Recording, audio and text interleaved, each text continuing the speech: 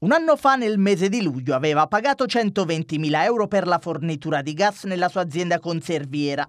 Dodici mesi dopo, Francesco Franzesi, amministratore della Fiammante di Buccino, si è visto recapitare una bolletta di oltre 970.000 euro, un importo quasi dieci volte più alto che lo ha spinto a lanciare un grido d'allarme alla politica. Il grido d'allarme diciamo, rivolto un po' alla politica europea perché faccia qualcosa eh, diciamo, a fronte di questi aumenti, ma al di là della questione mia aziendale, il problema è sociale, bisogna risolvere in qualche modo non so come, perché non faccio il politico. E l'unico problema è che comunque aumenteranno i prezzi ai consumatori.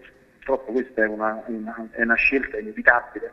Eh, avremo uno scaffale che sarà circa l'80% più alto rispetto all'anno scorso.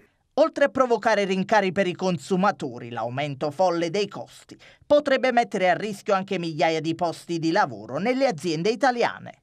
Ma noi cerchiamo di resistere onestamente, non ci penso, non ci voglio nemmeno pensare abbiamo anche dei progetti di sviluppo futuri, non voglio abbandonarli, e bisogna guardare sempre in avanti, diciamo sarà l'ultima delle scelte questa.